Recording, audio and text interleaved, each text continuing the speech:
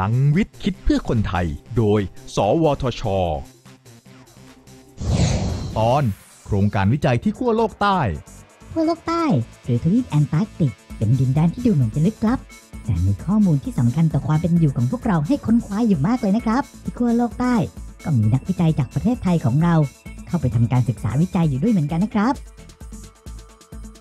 สวทช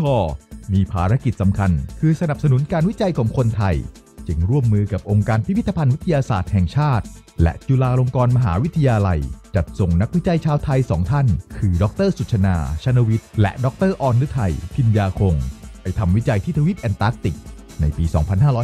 2557 โดยหน่วยงาน Chinese Arctic and Antarctic Administration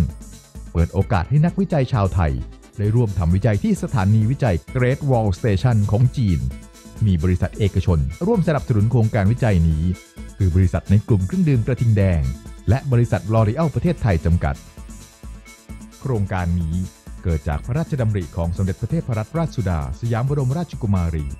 พระองค์เป็นคนไทยคนแรก ที่เคยเสด็จไปยังทวีปแอนตาร์กติกในปีพุทธศักราช 2532 พัฒนาคนด้วยวิทยาศาสตร์ พัฒนาชาติด้วยเทคโนโลยี สอบถามรายละเอียดเพิ่มเติมได้ที่ สวทช